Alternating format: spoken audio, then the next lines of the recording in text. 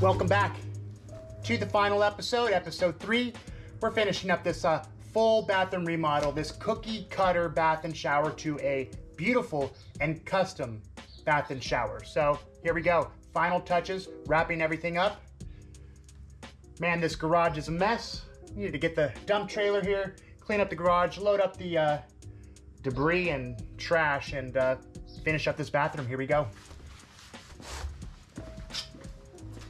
So what we're doing right now, we're installing the faucet. This is our marble Carrara top.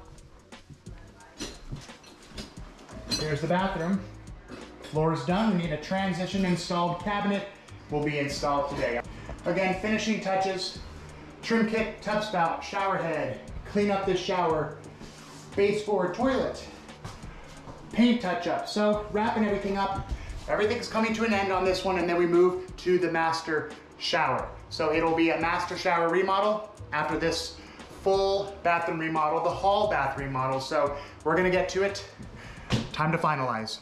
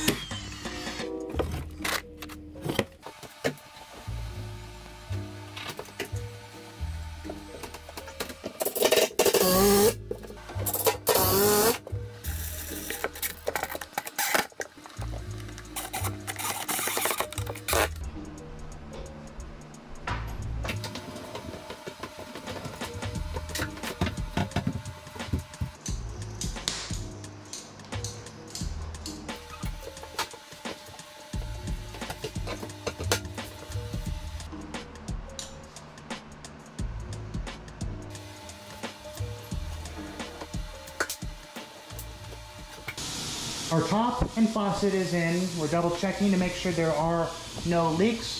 The grab bar has been installed. Time to install the toilet paper dispenser, towel bar, towel hook, baseboard, and toilet.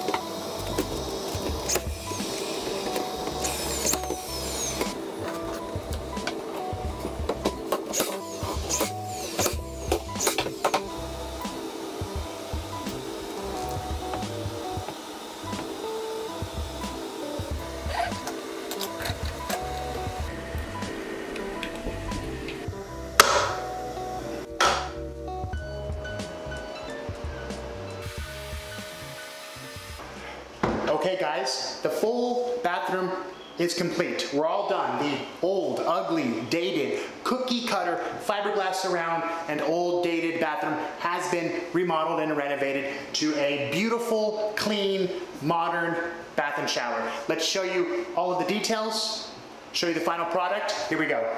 Let's start with the floor. Beautiful floor. It is flat.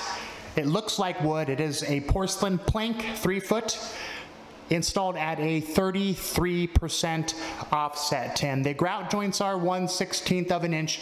Looks fantastic. We installed new baseboard. We painted the bathroom.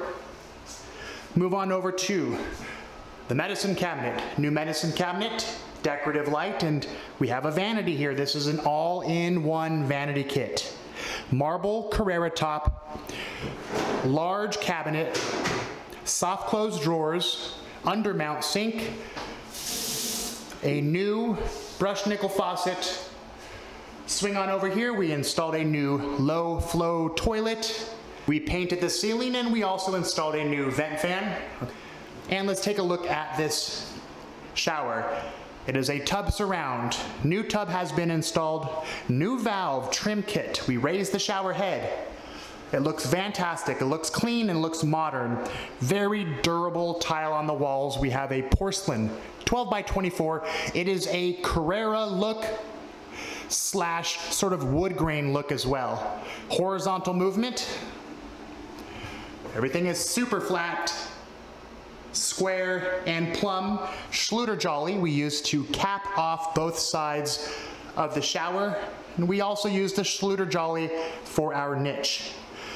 So real quick, install this at a 50% offset. Pay attention to layout, it's very simple. We have full 12 by 24s landing right at the niche.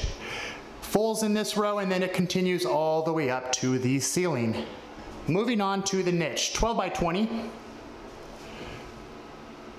Again, trimmed out all the way around with Schluter Jolly. We have miters at all four corners. The deco that we use for Behind the niche is a hexagon marble. We have our sill here, proper pitch, proper slope. The niche turned out fantastic. We ran our silicone around the perimeter of the tub. We installed silicone where the two planes meet both sides as well as the ceiling. And lastly, we ran a bead of silicone where this floor tile meets the tub. Installed a grab bar as well as a magnetic shower head. Well, that's it for this one, guys. If you want to see more videos like this, subscribe. And most importantly, tap that bell notification down there so that you get notified when new videos come out. Thanks for watching, and I'll see you all on the next one.